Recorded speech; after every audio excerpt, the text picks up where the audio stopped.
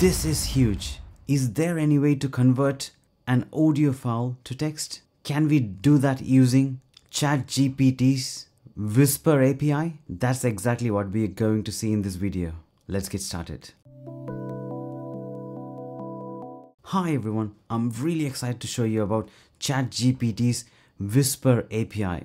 This can be used to convert an audio file into text. I've already covered the beginner's guide in my previous video. I will link that in the description below.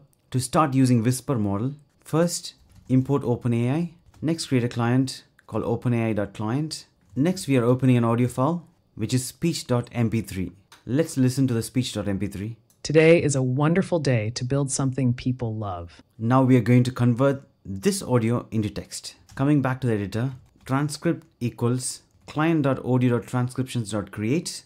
Inside that function, we are defining the model name that is whisper1 and we are providing the file name which is the audio file. Next we are printing the transcript.text. That's it. First importing OpenAI, then client audio transcriptions.create function. Inside that define the model whisper-1 and then provide the audio file. Now let's run this code. In the terminal, type python app.py and click enter. We got a response. Today is a wonderful day to build something people love. That's exactly what the audio we entered as input. As simple as that. I'm going to regularly create more videos in regards to ChatGPT, so stay tuned. In my YouTube channel, I regularly create AI related content, so please go and have a look. I hope you like this video. Do like, share and subscribe and thanks for watching.